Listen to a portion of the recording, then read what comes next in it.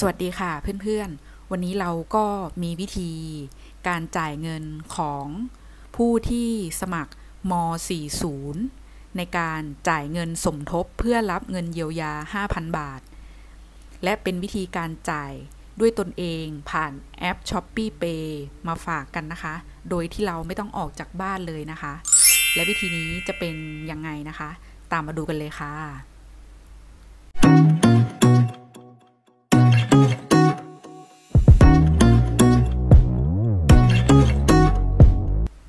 เริ่มแรกนะคะสำหรับใครที่ยังไม่มีแอป s h o p e e Pay นะคะ ก็ให้ไปทำการดาวน์โหลดติดตั้งให้เรียบร้อยนะคะ ใช้ได้ทั้ง Android แล้วก็ iOS นะคะ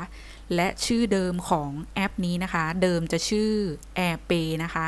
และปัจจุบันจะเปลี่ยนเป็น s h o p e e Pay เรียบร้อยแล้วนะคะ และการจ่ายเงินสมทบนะคะ ก็ง่ายมากนะคะ ขั้นตอนแรกนะคะ ให้กดเข้าไปที่แอป s h o p e e Pay กันเลยนะคะ กดเข้าไปเลยค่ะ อ่า เมื่อเข้ามาหน้านี้แล้วนะคะ เราก็ต้องดูนะคะจำนวนเงินของเรานะคะ มันไม่เพียงพอนะคะ ก็ต้องเติมเงินให้ครบ เพียงพอสำหรับเงินที่เราต้องการในการจ่ายเงินสมทบทั้ง 3 ประเภทนะคะ ซึ่งจะมีตั้งแต่ 70 บาทนะคะ ต่อเดือน 100 บาทต่อเดือนและ 300 บาทต่อเดือนนะคะ ต่อมานะคะก็ ให้เราเลือกนะคะที่เมนูจ่ายบินนะคะ กดเข้าไปได้เลยค่ะ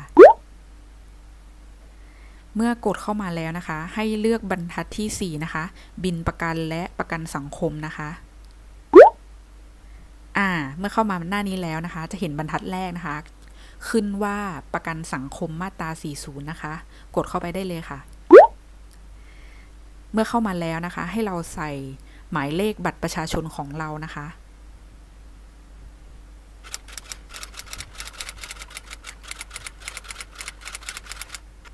จากนั้นให้กดเช็คบินนะคะ เมื่อกดเช็คบินแล้วนะคะ มันจะมีการประมวลผลออกมานะคะ เป็นข้อมูลส่วนตัวนะคะ และรายละเอียดที่เราสมัครเรียบร้อยแล้วนะคะ ใช้ได้ทั้งผู้สมัครเก่านะคะ แล้วก็ผู้สมัครเพื่อจะรับเงินเยียวยา 5,000 ก็ได้นะคะ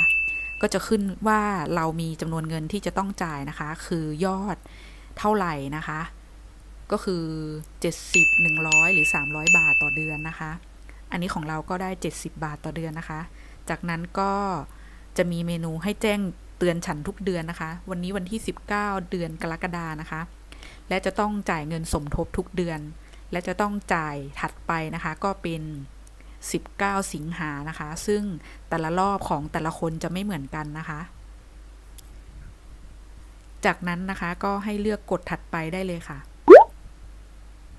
อ่าแล้วก็ ให้เลือกกดเช็คเอาท์นะคะ อ่า อันนี้นะคะ เงินใน wallet นะคะ การชำระเงินนะคะ จะมีอยู่ 2 ช่องทางนะคะ ก็คือเงินที่เราเติมใน wallet นะคะ กับอีกช่องทางหนึ่งนะคะ ก็คือเงินที่เราผูกไว้กับธนาคารที่เราเลือกนะคะ ของแอดจะเลือกผูกกับธนาคารกสิกรนะคะ ซึ่งเราจะต้องชำระเงินทั้งหมด 70 บาท และตอนนี้นะคะ เราก็มีเงินไม่เพียงพอนะคะใน wallet ดังนั้นนะคะ จะต้องชำระผ่านธนาคารที่เราผูกไว้นะคะ ซึ่งข้อดีของแอป s h o p e e Pay นะคะ เราสามารถเลือกคูปองแล้วก็ใช้คอยที่เรามีอยู่แล้วเดิมก็ได้ด้วยนะคะ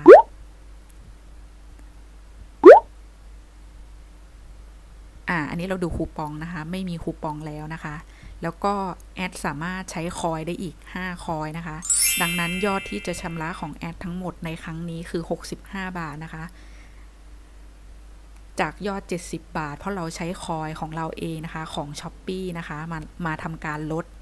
ส่วนลดในครั้งนี้นะคะ อันนี้เราสามารถเลือกชำระได้ทั้ง 2 ช่องทางรวมกันเลยก็ได้นะคะ ก็คือชำระ